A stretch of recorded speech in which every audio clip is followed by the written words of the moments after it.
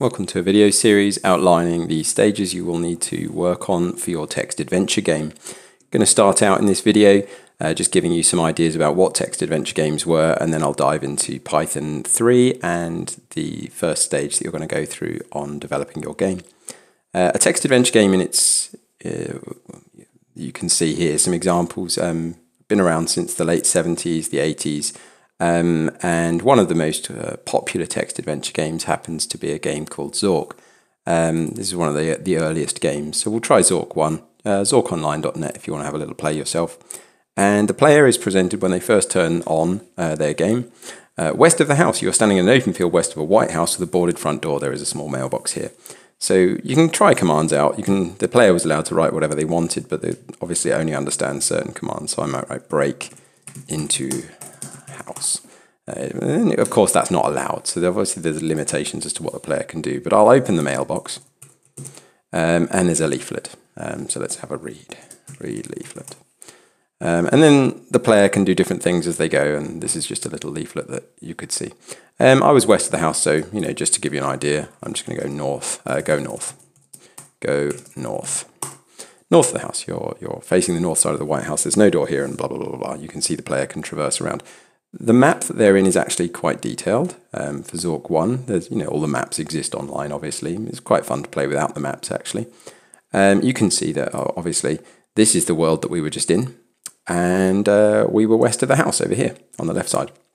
There's the mailbox.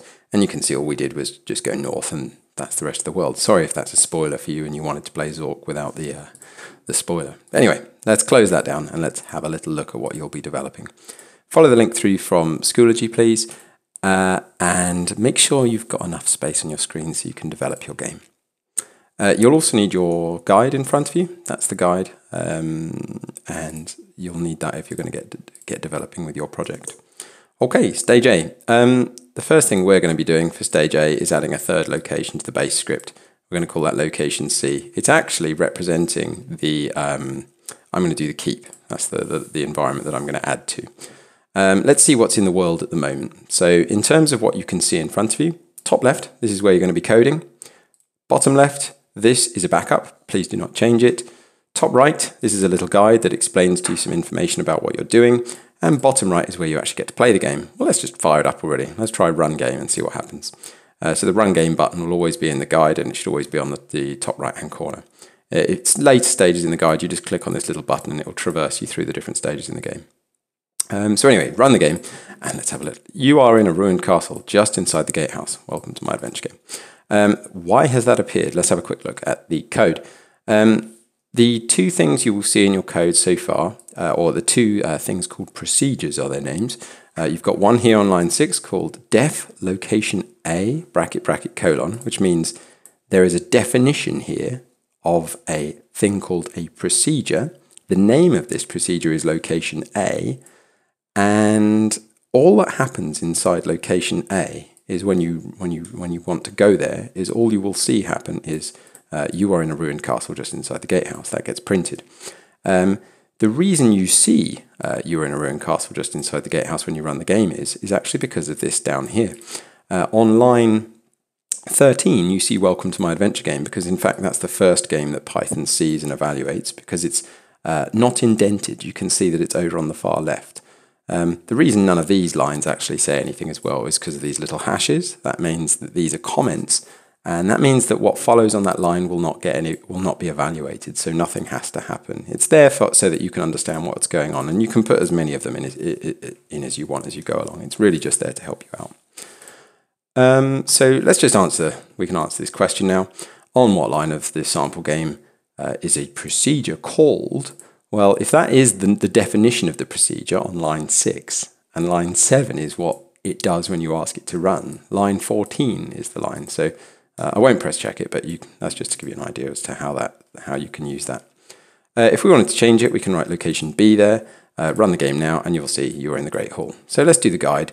Um, there was a couple of things to do. Add a new location. So the way we're going to do that is we're going to go to line 12. I'm just going to add some lines in. We're going to write def location C uh, bracket, bracket, colon.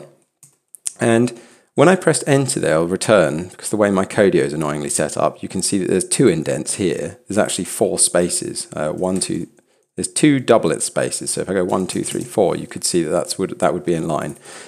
It is important that you keep it in line. Um, not entirely sure why mine has decided to jump over to two spacing instead of four, because I actually have it set on Codio two. If I go to view, tab size, I've got it set to four, so I'm not really sure. But anyway, it's it, all that matters is that you keep consistent. So this is using four spaces. So I'll just put in another two spaces for now, or I'll just press tab twice. Anyway, so what are we going to do at location C? Print um, in speech marks. Where are we? Let's have a little look where we are supposed to be going. We're adding in a third location.